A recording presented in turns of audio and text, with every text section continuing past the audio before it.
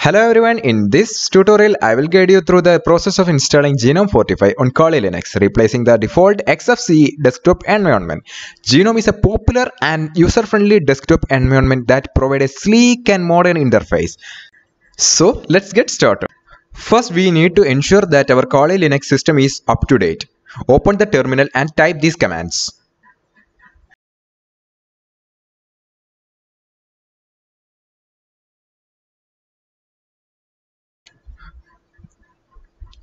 Sudo apt update and sudo apt install hyphen y kali hyphen desktop hyphen gnome and hit enter.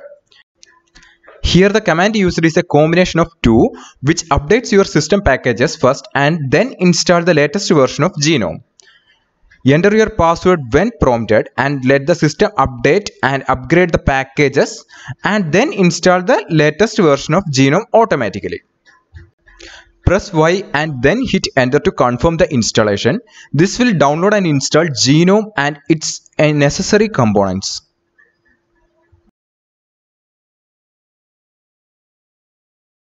Here you should select the GDM3 and hit enter. Don't choose the default one. This will take some time to finish the installation process.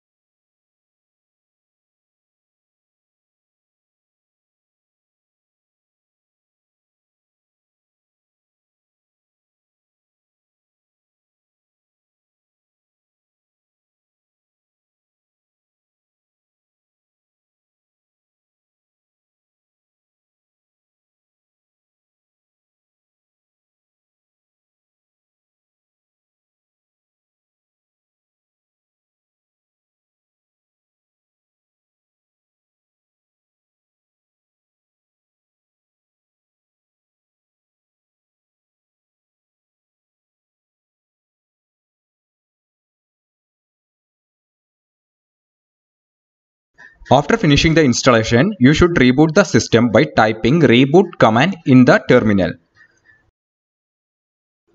Once your system restarts, you can see the latest version of GNOME.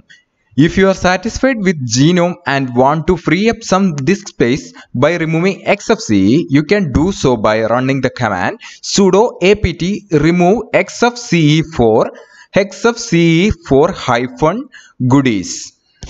That's it. You have successfully installed GNOME 45 on Kali Linux, replacing XFCE as the default desktop environment. Enjoy the modern and user-friendly GNOME experience. If you have any questions or run into any issues, feel free to leave in the comment section. Thanks for watching. Have a great day.